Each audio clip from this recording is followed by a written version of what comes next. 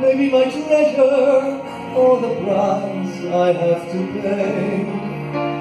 She may be the sun that summer sings, maybe a chill that autumn brings, maybe a hundred different things within the measure of the day.